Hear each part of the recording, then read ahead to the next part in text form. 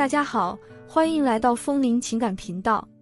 您的点赞和订阅是我更新下去的动力，谢谢您。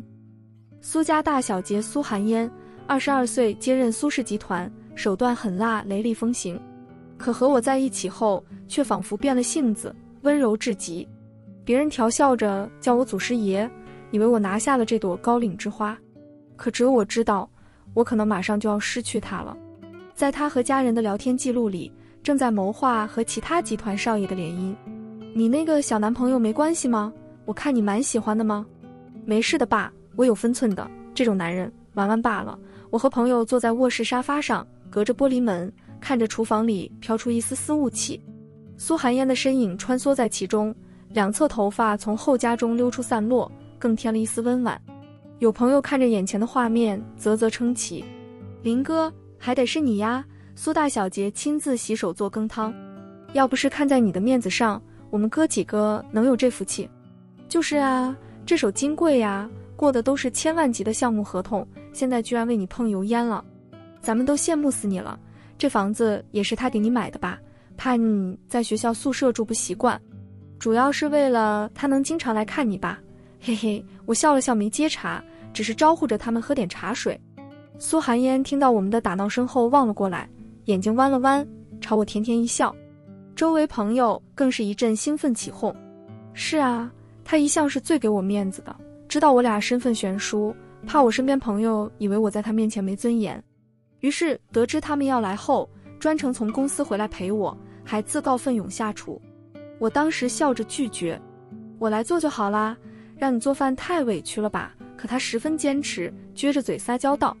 我知道他们平时怎么说我，苏大总裁嘛，我就是要让所有人都知道，在你这儿我不是什么总裁，只是你的女朋友啊，传授点技巧啊，林哥，我也想要白富美女朋友为我抛下一切物物。如果是前两天的我，一定也沉浸在这种由爱情勾织的美梦里，而不是像此刻一样被巨大的不安笼罩。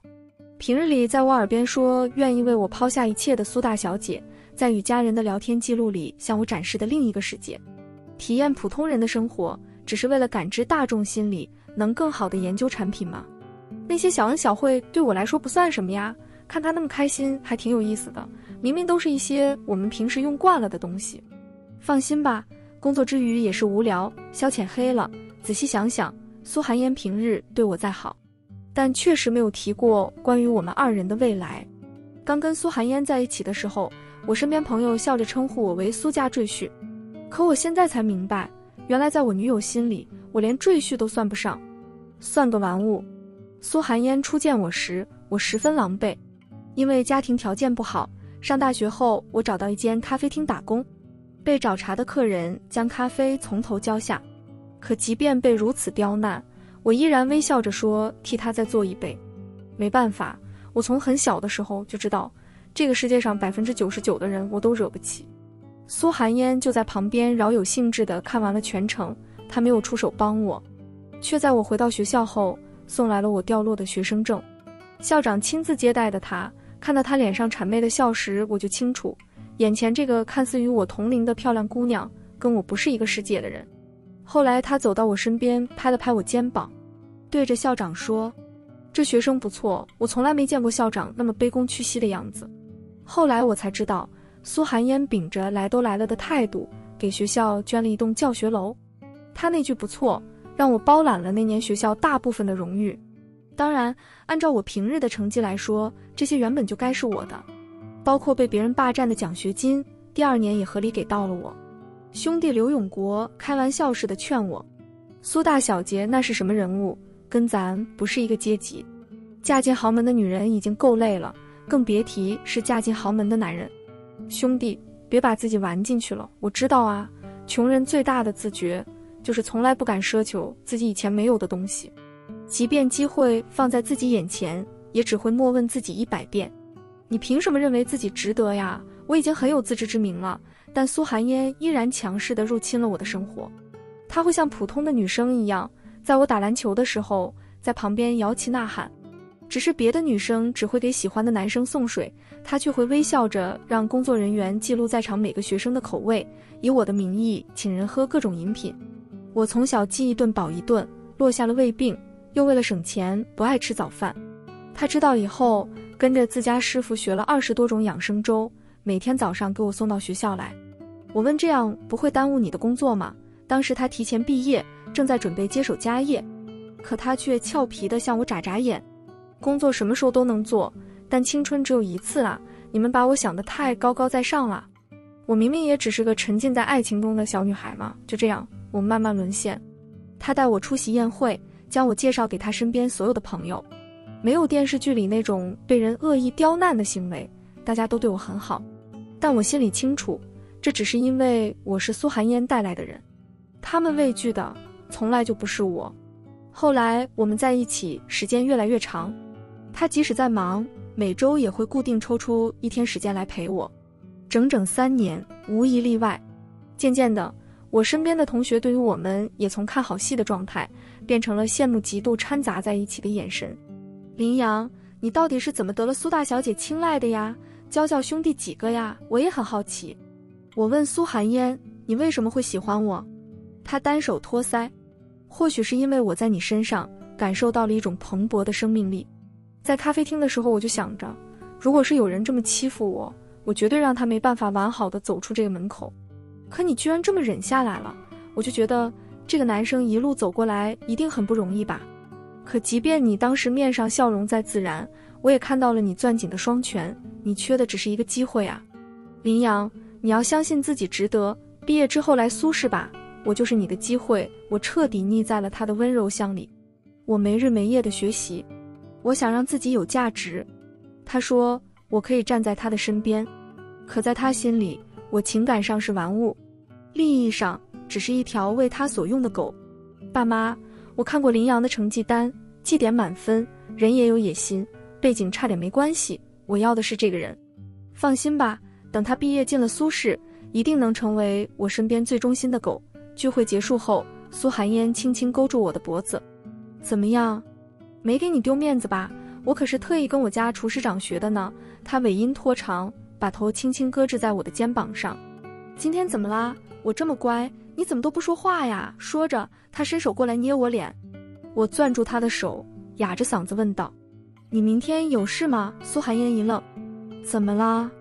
我奶奶病情加重了，我想带你回去见见她。我很小的时候，爸妈就去世了，一直是奶奶带大的。前段时间她还在念叨，说年纪大了，让我赶紧把孙媳妇带回去看看。我本来以为只是老人家好奇心惦记着，可我接到我请来照顾奶奶的护工电话后才知道，奶奶她得了阿兹海默症，马上就要认不出我来了。寒烟，跟我回趟家吧。苏寒烟自然也清楚奶奶对我有多重要。可眼下她面色为难，歉疚地朝我笑笑。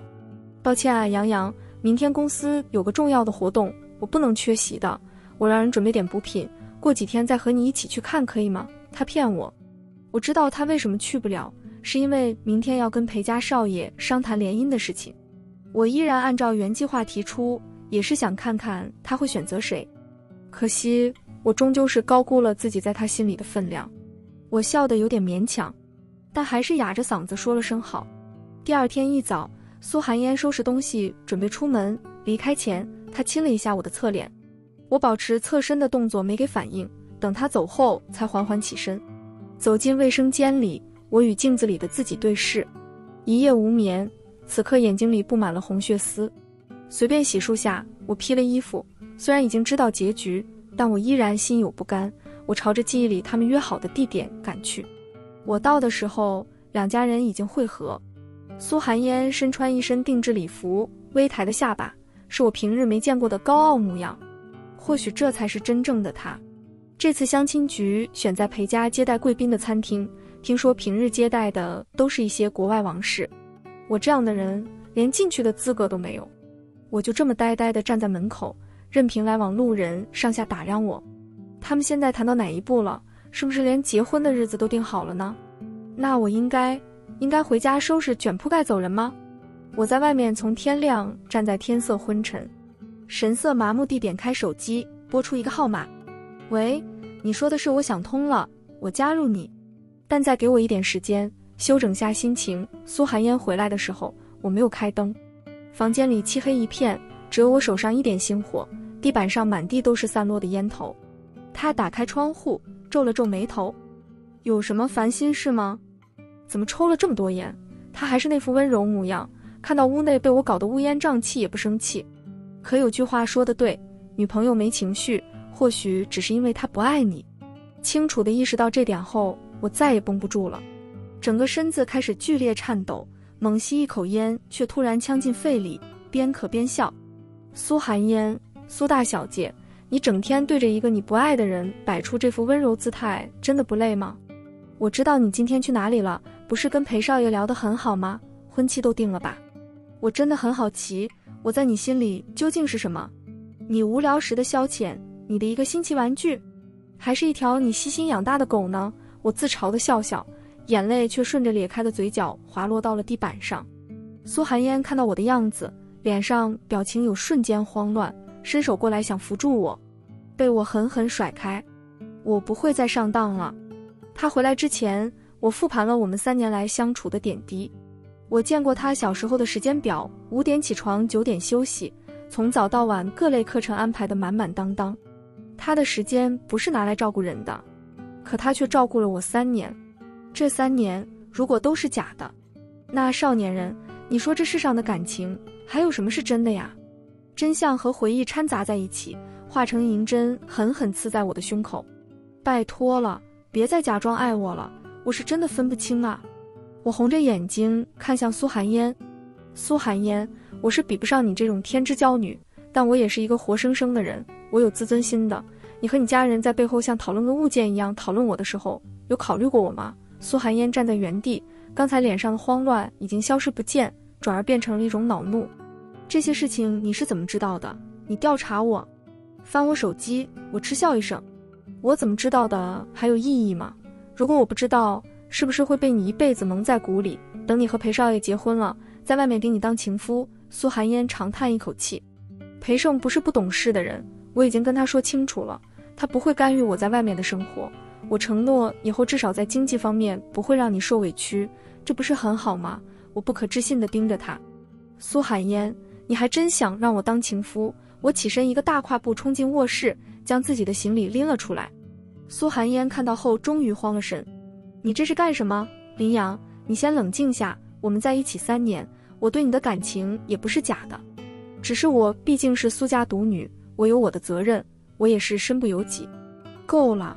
我大吼一声：“苏大小姐，我只是一个普通人，我想谈正常的恋爱，你放过我吧。”说完后，我拉着行李就要出门。苏寒烟见我铁了心要走，咬牙说道：“你想清楚。”这些年你的吃穿用度都是最好的，包括你的专业方面，我请了那么多老师培养你。离开我就要回到以前的苦日子，你真的舍得下吗？我迈出的步子没停，苏寒烟见我就要关门，急切道：“苏阳，你敢走出这个门，这些年我给你花了多少钱，就得统统还给我。”我拉门的动作一顿，转头朝着苏寒烟应了一声：“好，你放心，一分不少，我林阳全都还给你。”拖着行李箱出来后。我暂时没回学校，随便找了个酒店，想先休息一晚。躺倒在床上时，心脏还在抽着疼，我暗骂了自己一句：“真没出息。”苏寒烟给我打了无数个电话，我全都摁灭了。我已经分不清楚，他现在对我所说的话，究竟是真的对我还有点感情，还是因为我能带给他利益？毕竟他刚接手家业，根基不稳，一条听话的狗。确实比一个没什么用处的恋人更吸引人。要我，我也舍不得狗跑了。我翻开行李，拿出了一个笔记本，是这些年苏寒烟给我花费的账单，一笔笔记得很清楚。我从来没有想过占他什么便宜。当初他让我辞掉了咖啡厅和其他的兼职工作，包揽了我的学费。我说算我借的。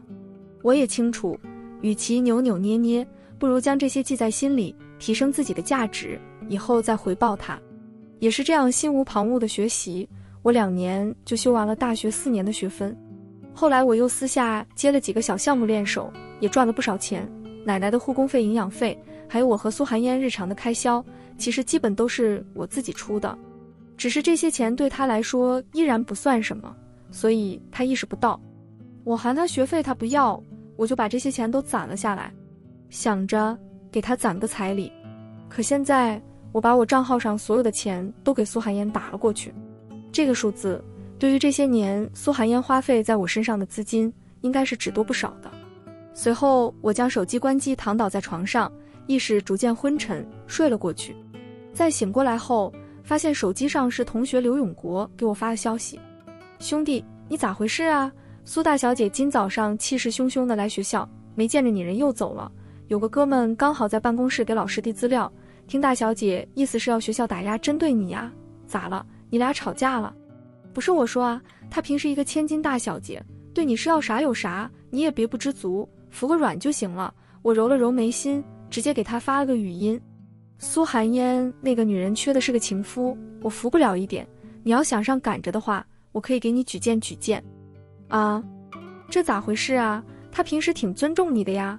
我们还私底下讨论说，你这结婚之后肯定比我们一开始预想的苏家坠夫地位高多了。脑瓜子嗡嗡的，结婚两个字刺痛了我的眼睛。我没再多看，刚想关掉窗口。刘永国的消息又传了过来，不过跟这种大小姐相处是危险，我估摸着学校这边肯定要对你有什么动作，你小心点哈。我回了一声知道了，点开通讯录，我给辅导员打电话说想请两天假，辅导员没接，于是我又点开辅导员聊天窗口给对方发了请假留言，没再多停留，我倒了几班车去了奶奶家，一进门，老太太精神头不错，朝我嘿嘿笑。哎，大孙子，我都说了没事别老回来看我，别耽误了学习呀。我眼眶有些湿润。我是个大山里的孩子，爸妈去世后是奶奶把我拉扯大。她说人得读书，只有读书才有出路。就这样，六十多岁的老太太背着我和为数不多的行李走出了大山，努力在一个小城里扎根定居了下来。我高中的学费、生活费是奶奶用捡来的纸箱。一分一毛换出来的，我拼了命的学，才站在了和别人同样的起点。奶奶摸着我的头，眼神朝身后望了望，我知道她是在看谁，叹了口气。奶奶，她家里最近有些事情太忙了，说过两天就来看你。奶奶眸子里有些失落，但还是叮嘱我：我一个老太婆有什么好看的？你俩好好的就行了，得对人家姑娘好一点啊，一心一意。别在外面学坏了出轨什么的，知道吗？却想起往事，我无奈地点了点头。奶奶随后又笑眯眯地从旁边的纸箱里翻出一本册子。今年开春的时候，我收拾了一下屋子，翻出来了你高中时的笔记本。来，再像以前那样教教奶奶吧。奶奶很好学，他一直都说，如果他认字有学识，就不会吃那么多不该吃的苦。以前我上学时，他只要得了空，就会乖乖坐在一边看我做题。我得闲了也会教他认字，渐渐的，他识的字越来越多。可我这次回来时，护工跟我说，他忘的字也越来越多了。奶奶颤颤巍巍戴上老花镜，翻开册子第一页，为首的是我高三时记下来激励自己的话：“穷且益坚，不坠青云之志。”老太太脸色红润，笑盈盈地看着我：“乖孙，看哦，这句我能念全呢，多好的句子啊！你从小学习就好。”大学也选了自己喜欢的计算机，未来好好做自己喜欢的事情，不管遇到什么难题都别灰心，奶奶都支持你。我眼泪在眼眶里打转，是，我是大山里走出来的孩子，深知这个世界的参差。我曾经的理想就是能靠自己推动一点点这个世界的进步，让大家用最少的钱享受最新的科技技术，能让山区的孩子也能依靠互联网实现教学资源同步。可自从认识苏寒烟后，我拼了命的学习，不是为了自己出人头地，也不是为了那些和我一样的孩子，是为了他，为了苏氏集团。奶奶，以后的路我知道该怎么走了，幸好还来得及。我回到学校，打算一心投身在专业研究里。可等我回去的时候，我才发现我已经被自主退学了。办公室里，校长斜着眼睛瞪了我一眼：“有什么好说的？你无故不来上课。”开除你学籍有问题吗？我紧皱着眉，我跟辅导员请假了，也说明了请假理由。辅导员在一旁双手一摊，我可没答应。我攥紧了双拳，就算我理亏，没有等到辅导员同意就离开，可即便是旷课几天，也没有严重到要退学吧？校长见我顶嘴，气得一拍桌子：“你搞清楚自己的身份！我说退学就退学了，你难道在质疑我的决定吗？”保安呢？以后不是我们学校的学生，别放他进来。见到校长这副样子，我心里也清楚是因为什么。苏寒烟想用这种方式逼我就范，没再多做纠缠，我直接走出了学校。站在学校门口时，我接到了一个陌生号码的来电。接通后，对面传来了苏寒烟的声音：“林阳，如果你现在乖乖回到我身边的话，我敢保证，不出五分钟，你们校长会追出来求你回去。不用了，苏小姐。”这样的校长以及这样的学校，对我来说也没什么值得留恋的。你你想清楚了？如果你现在走了，可真就什么都没了。你一个没背景的普通人，连大学都没读完，谁会要你？我唇角微微勾起，不劳您费心，挂了。电话还没挂断时，我眼前就停了一辆车，熟悉的声音从车里传来：“哟，小学弟，不是要和我合作吗？上车。”哥带你边兜风边说：“程烨是我学长，早我几年毕业。作为优秀校友，被校长请来发言时，与我意外结识。他家庭也一般，曾经在学校里也像我一样被针对我，后来加盟另一家公司，当上了 CEO。他说他挺欣赏我的，年轻有才华有野心，活脱脱一个年轻版的他。他还说可惜，当时他暴毙站在我面前，我问他可惜什么？”可惜啊，自古英雄难过美人关。像你这么有才华的人，理论上应该成就一番自己的事业，怎么就甘心跟在苏寒烟身边呢？我当时没把他的调笑当回事，毕竟他一定没见过我在咖啡厅打工的样子。那时候的我灰头土脸，任人欺凌，即便成绩再好有什么用？我也没什么门路能靠手里的技术赚钱。我很感激苏寒烟，是他给了我机会和爱。当然，如今看来，如果只给机会，或许反而会更好。当初我这一番肺腑之言，只换来了程烨的不屑。老弟呀，我是个商人，最懂商人想什么，如何依靠最少的利益获得最大的利润，就是我们在考虑的东西。我是这样，苏寒烟也是这样。只不过我是个男人，跟你谈条件靠的是利益，而苏寒烟是个女人，靠的是情感。我是真欣赏你，你的编程我看过。能力远在我之上，和我联手吧。见我做事要走，他嬉皮笑脸的拦住我。年轻人别这么冲动，给你留个联系方式，你早晚有一天会打电话给我的。没成想一语成谶。后来也是他发给我一份文件，里面是苏寒烟和家人的记录。文件里详细记载了苏寒烟是怎么从一开始就盯上我的。他在各大高校里找寻没有背景却有才华的年轻人，打算从一开始培养。调到公司为自己所用，只是一开始他没打算自己入局，或许是我哪里引起了他的兴趣，才有了我和他后面的几年。可这几年里，我并非只贪图在温柔乡里，我毕竟是个男人，哪能真的一心只活在女人的光环下？在咖啡厅打工时，我就意识到这种用体力换取金钱的方法不是长久之计。于是，当苏寒烟说要资助我时，我没有多做犹豫。程烨有点看得没错，我有野心，只是曾经的野心被爱意掩埋了起来。我努力打磨自己，只为了成为他手上最锋利的那把刀。当初因为苏寒烟，我拒绝了几次程烨的合作邀请。程烨辞去了原来公司的 CEO 职务，打算找人合伙一起组建新公司，正是需要用人。见我拒绝，程烨退而求其次，说给我学习和练手的机会。我也想让自己赶紧成长起来。于是尝试过帮他写程序，打给苏寒烟的钱就是程烨给我的劳务费。回忆收拢，我对着程烨淡淡开口：“在外面准备个办公室给我。既然加入你了，我就让你知道，苏寒烟当初选择我不是没有理由的。我没有去成业公司报道，毕竟我现在没有名校光环，进公司的话限制太多。不如放大我们以往的模式，我提供技术支持，其他的商业领域成业比我在行。”当然，也为了更好的掩人耳目，不让苏家盯上，成业在公司附近给我租了一个套间，搬来了相应的设备供我使用。我打趣他，吃住工作都在一块，简直就是为了更好的让我加班。不过这也正合我意。就这样，我没日没夜的研发程序，让自己沉浸在这种状态里。直到有天，我接到了酒店电话，才想起来回奶奶家前还有些东西暂时放在那里没拿。可当我来到酒店门口时，却碰到了等在那里的苏寒烟，一身黑色立领西装，显得人十分干练。波浪卷发垂在耳旁。不得不说，即便抛开苏家大小姐的光环，她也可以称得上是一个十分漂亮的女人。见我走来，她美眸轻抬：“林阳，你闹够了没有？我的耐心是有限度的。”我站在原地没动。你的钱我还给你了，这些年你对我的知遇之恩也随着我退学一笔勾销了。我已经跟你没关系了，好聚好散吧。却说完后，我掠过他，打算进酒店拿上东西就走。或许是从出生起便没有被人如此冷脸过，苏寒烟有些烦躁。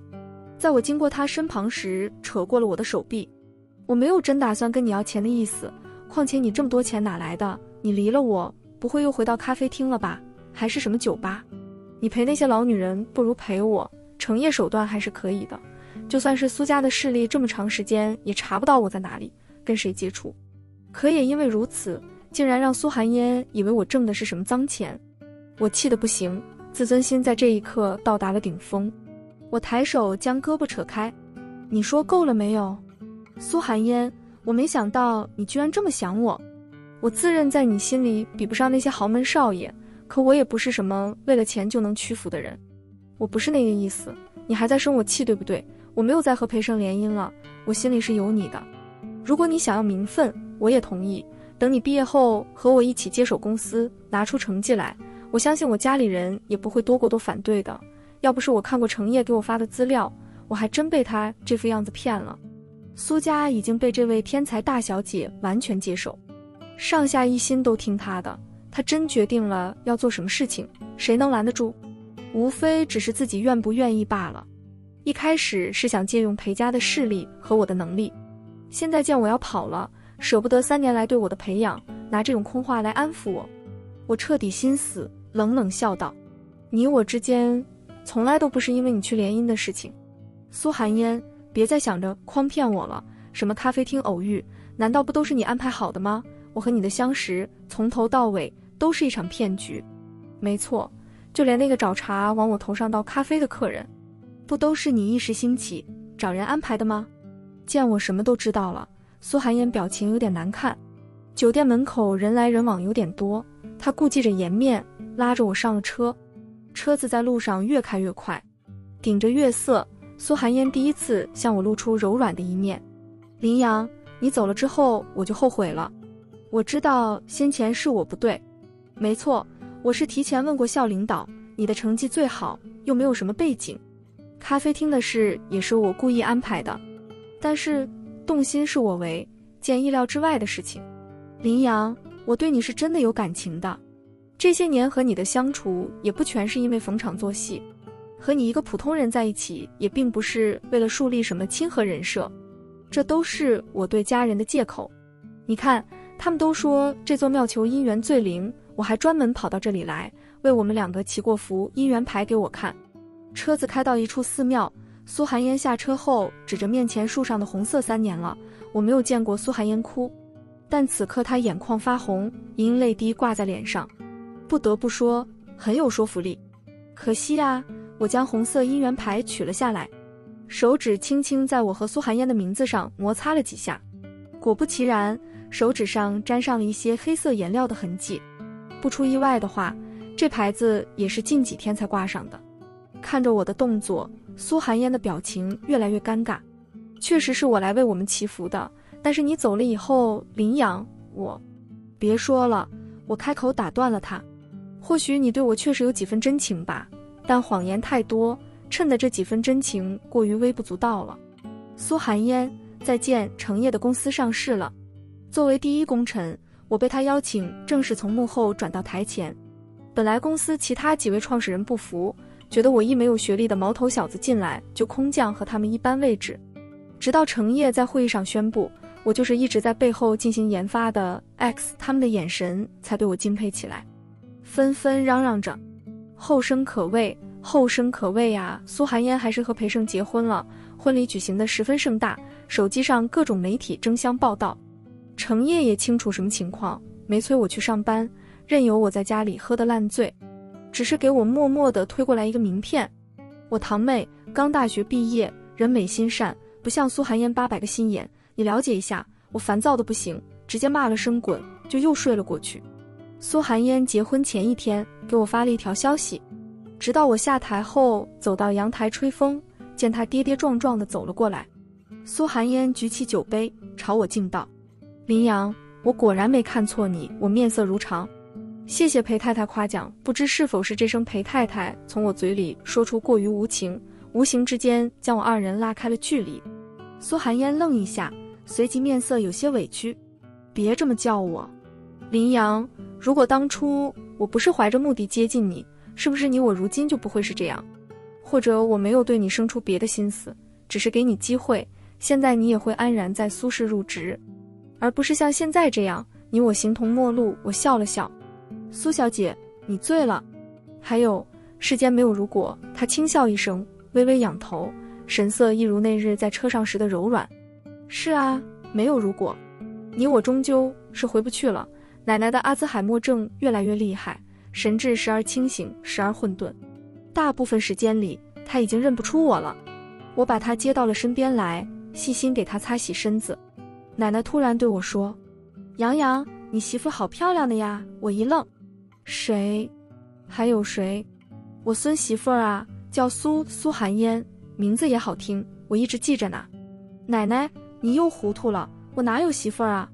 哎，怎么是糊涂呢？她之前经常来看我的。